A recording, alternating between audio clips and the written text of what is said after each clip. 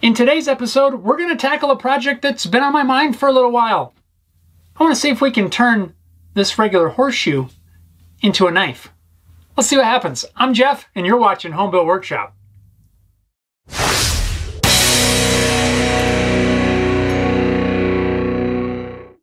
What's going on, everyone? Welcome back to the shop. I hope your day is going great. Show of hands for those of you that have ever gotten a project stuck in your head for quite some time and you just can't stop thinking about it. You may forget about it for a little while, but then it pops back up and you just keep thinking about wanting to try a particular thing or build a particular item. That's what today's project is for me. So in order for me to stop thinking about it, we just got to tackle it and give it a shot. Now I would probably say that for the majority of you, when you think of a horseshoe, this would be what you're thinking of. This is just a standard steel horseshoe. But this is not the horseshoe that we're going to be using today.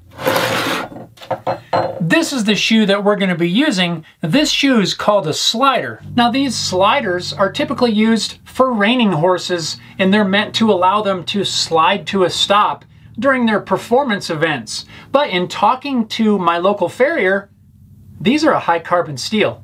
A regular shoe is not, which tells me that if we harden this, it's probably going to hold an edge much better than if we were to use a standard regular steel shoe like this. Now when this idea popped into my head, it was really only because I was carrying a pair of these, kind of like this, and I got to thinking, boy, that sort of feels knife-like. It's already a high carbon steel. So what happens if we do a little bit of shaping on here, some stock removal, maybe add some wooden scales. What kind of a, maybe an ulu style knife could we make out of this? Let's find out. The first thing I want to do is just spend a couple minutes using the belt grinder just to clean this up a little bit. I believe I'm going to need to weld these holes shut. In order to do that, I want to make sure that the metal's nice and clean. This is a used shoe, so it's kind of got some dirt and crud on there.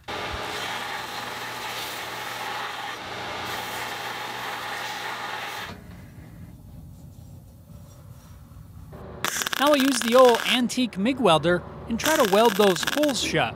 This didn't work quite as well as I was hoping, as you'll see later, but for this test run, it's going to be just fine. And it's back to the belt grinder to clean up those welds.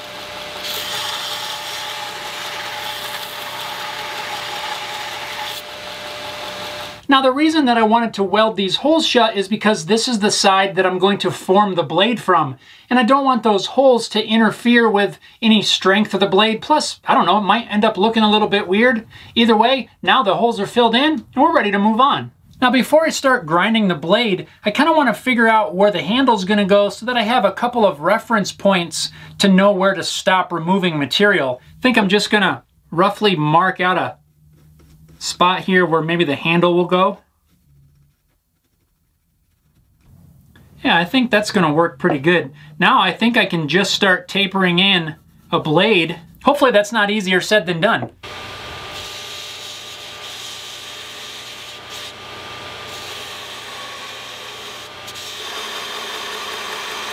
As I'm grinding away this material, it does create quite a bit of heat. Now at this step of the process, it's not really going to affect the metal at all, but it does make it a bit uncomfortable to hold. So to try to keep the piece cool, I'm dunking it in water every so often.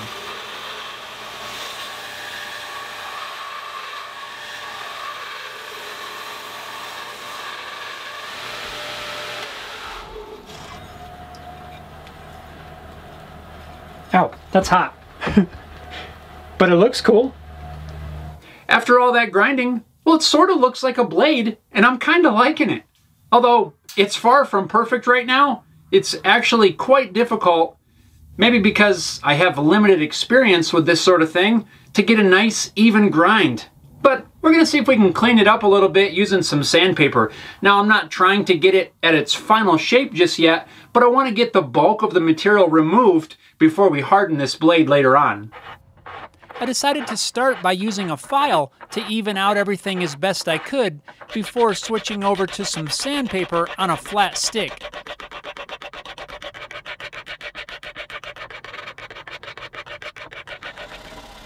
The sandpaper ended up working out really well. I was able to get it a lot smoother than it was right off the belt grinder.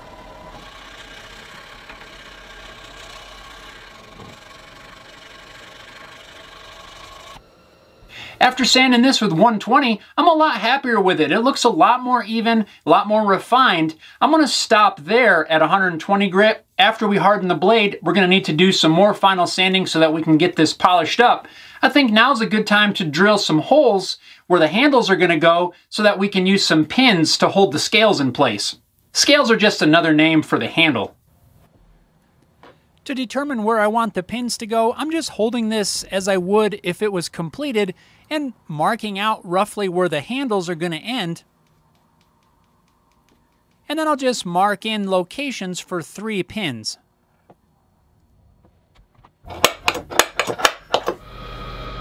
At the drill press, I'll drill some 5 30 seconds holes, which is the size of the pins that I'm going to use. It's really important at this step to clamp your workpiece down. You don't want to try to hold it with your hand because if that drill bit catches, it could send that thing sailing around and it's going to hurt if it hits you. At this point, I've got the bulk of the shaping done. Most of the material that we need to remove has been removed. The holes are drilled for the pins which will secure the handles. We're ready to harden this blade. If you saw the video where I made the little finger planes, you'll remember that I made those irons from a table saw blade. I hardened those myself by heating them up with a MAPP torch. Since the blade was so small, it worked really well. But on a blade this size, a little MAPP torch just isn't gonna cut it. So I had to call in for some backup on this one. Thankfully, my local farrier is really cool and agreed to let me use his forge to plop these in, so we're gonna use his forge to heat these up until they're non-magnetic around that 1400 degree mark, somewhere around there. Then we're gonna quench them in some oil, harden these blades up. Hopefully nothing breaks in the process. Let's do this.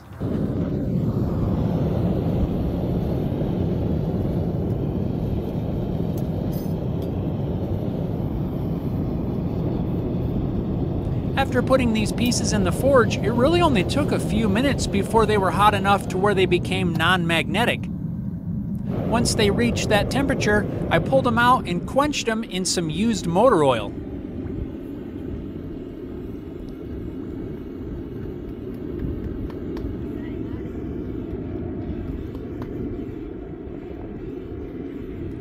There's the first one. Now for the second one. This one I think was a little bit hotter because it spent an extra minute or so in the forge.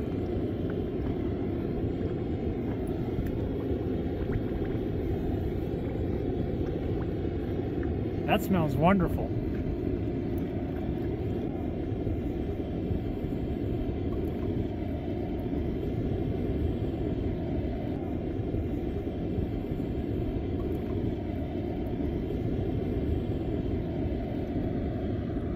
And there we go. Let's head back to the shop and continue on this project. Well, that was pretty cool. I like how the second one especially caught on fire. Although I was a little bit worried that the whole thing might go up in flames, but it didn't. Now these things should be hard. Let's check them with a file. If we've done this correctly, the file should skate over the metal instead of biting in and trying to cut it away. Fingers crossed.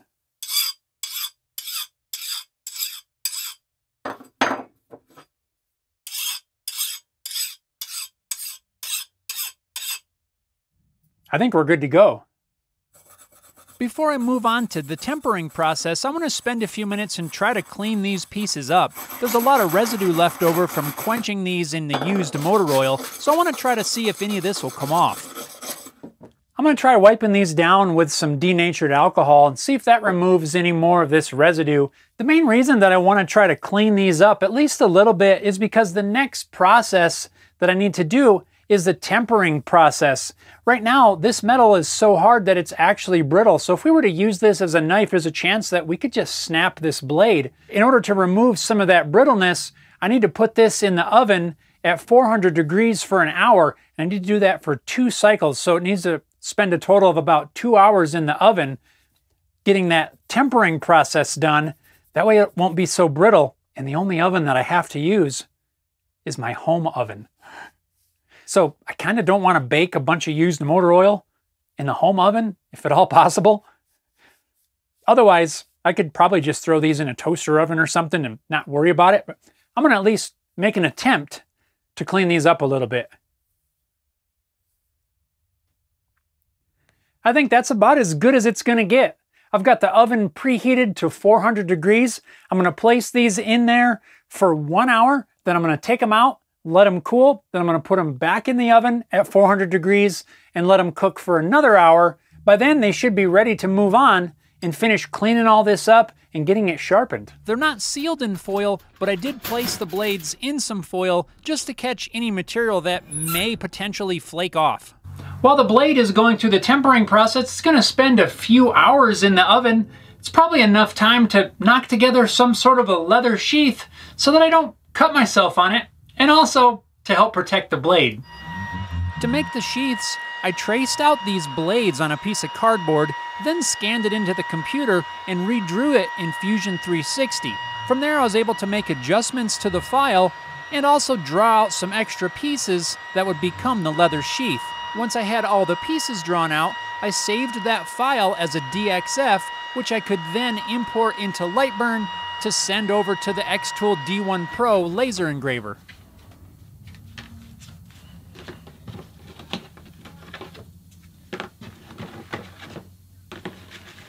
I'm finding it's really fun to be able to draw up some shapes and cut it out on the laser. Like in most leatherworking projects, order of operations here is going to become very important. These two pieces are going to get stitched together along the bottom, which will form a little pouch that our blade will slip into. But if I stitch that together now, I'm going to have no way to get inside there and install the snap hardware for this little strap. This little strap will get fastened on the back side, and then on the front, there'll be a snap which will hold the blade in place. I need to install that hardware first before we worry about stitching this together.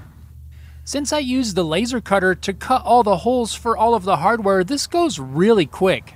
I'll just pop the snaps into place, and I'm using a simple hand snap setter to set the snaps into the leather.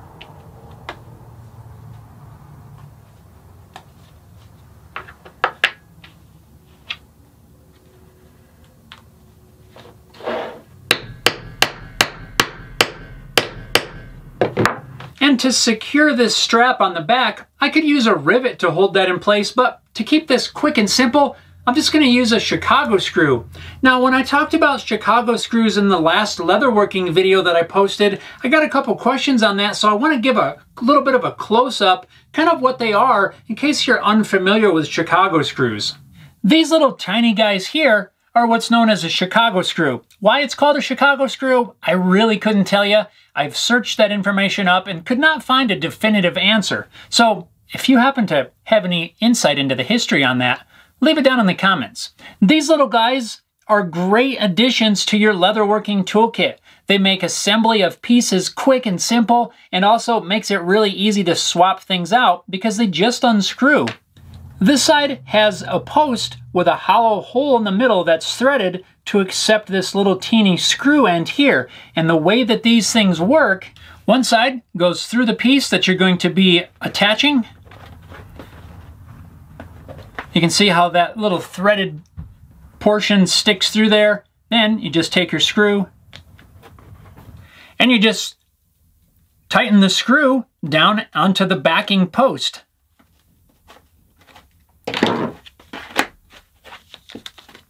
And it's secure. Quick and simple. These things are great. Now, one slight downside is that since these thread together, there is a chance that over time things can work loose. If you need to prevent that, a common thing is just to put a little drop of glue, like regular wood glue even works good. I've used that several times. It just adds a little bit of friction to the threads and helps it from backing out, but you can still remove it using a screwdriver. These things are great.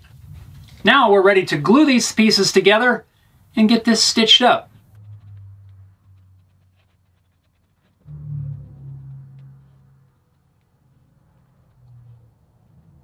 As soon as this contact cement has tacked up, we'll stick it together.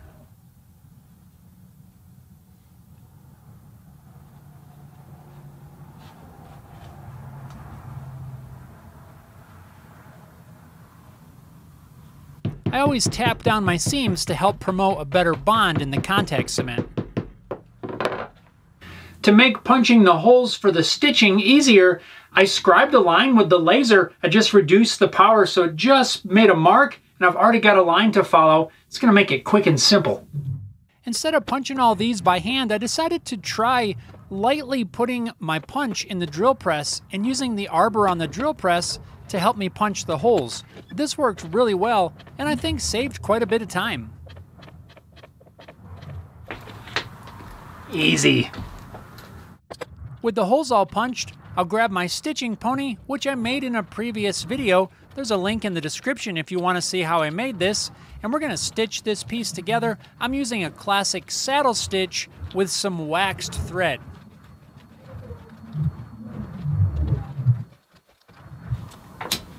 When I'm done stitching, I'll burn the end lightly to help keep the thread from unraveling. And this little sheath is complete.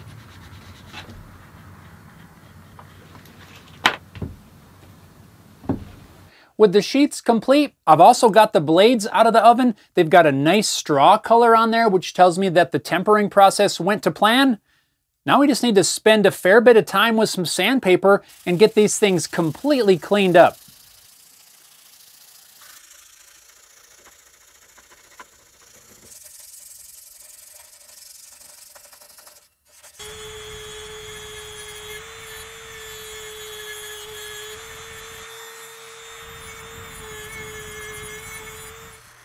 After I've sanded them all smooth, then I'm going to hit them lightly with the buffing wheel to really shine up this metal.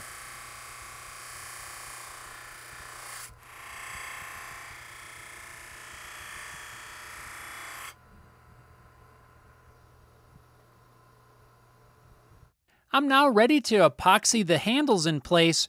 Before I do that, I'm going to wipe everything down with some denatured alcohol just to clean up any residue or anything like that that could impede my glue joint. I want to keep this epoxy off of the blade, so to do that, I'll just wrap it in some blue painter's tape.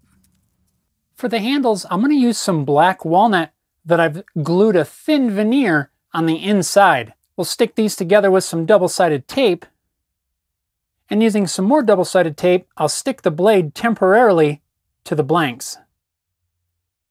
Now to drill press, I'll use these holes that I drilled previously as pilot holes to drill all the way through the pieces that'll become the handles. That way I know everything's gonna line up when we epoxy this in place. I'm gonna drill these holes one at a time, and once I have the first hole drilled, I'll use one of the pins tapped into place to kind of pin everything together and prevent things from shifting around.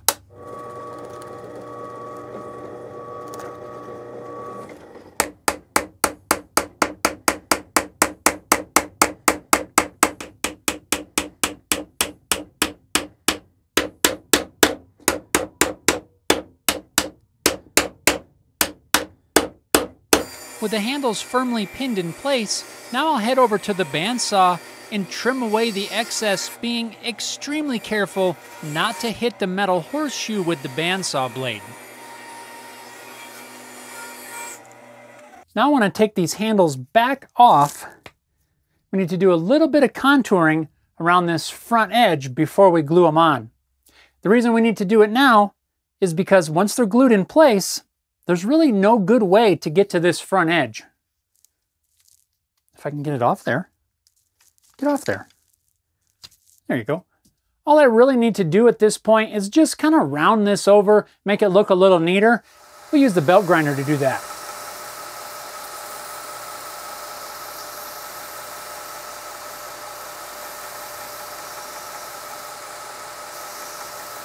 And now it's time to mix up some 5 minute epoxy and finally, get these handles attached to the blades. I'm applying the epoxy to one handle first. I'll stick that in place and then insert the pins to hold it in alignment. Then I can add the epoxy to the other handle, line everything up, and tap the pins all the way through. I'll wipe up some of the squeeze out with some denatured alcohol and then we'll clamp it up.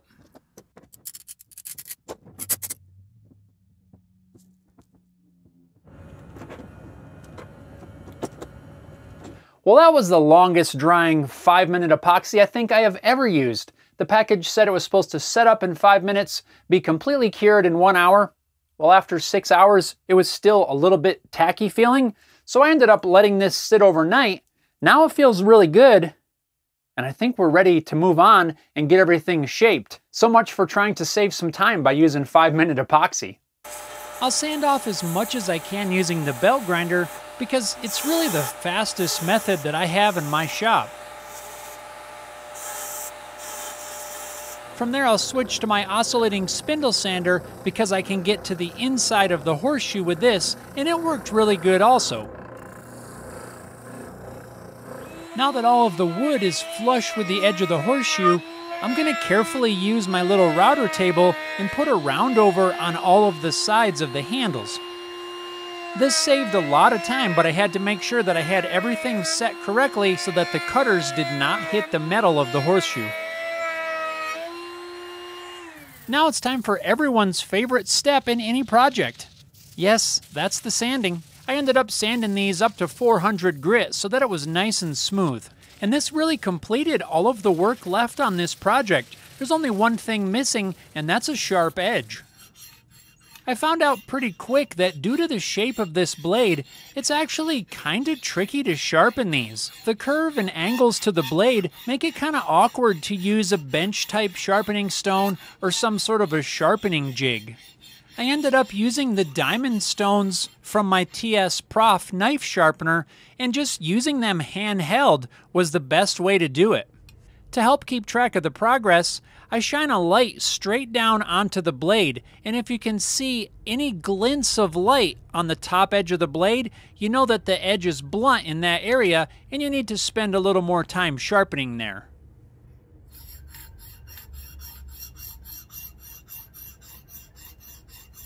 After quite a bit of time with the sharpening stones, this is finally feeling pretty sharp. To finish off the sharpening process, I'm going to give this thing a couple of passes on my leather stropping belt on the belt grinder.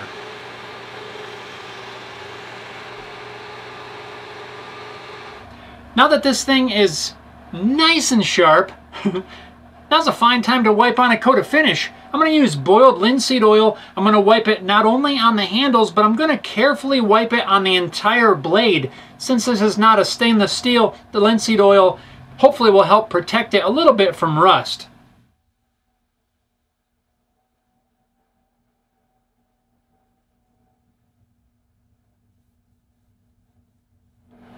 I love the way that little strip of maple looks in between the walnut and the steel.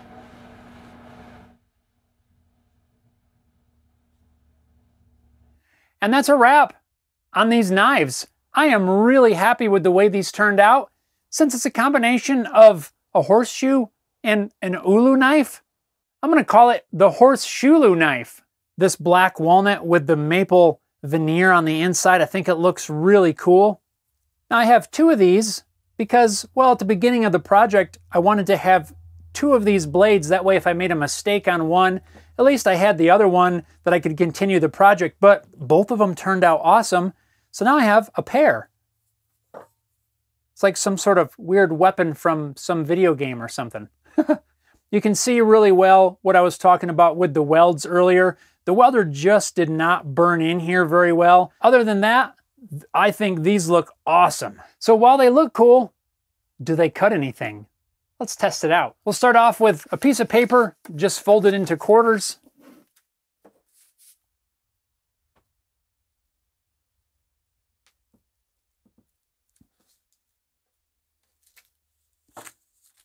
Cuts paper. How about cabbage? Will it cut cabbage?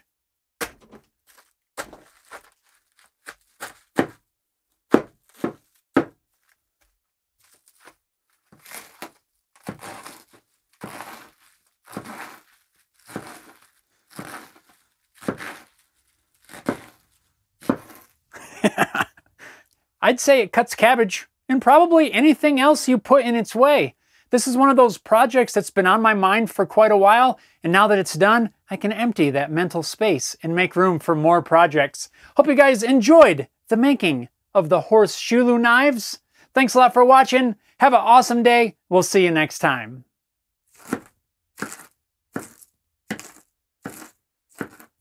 Coleslaw, anybody?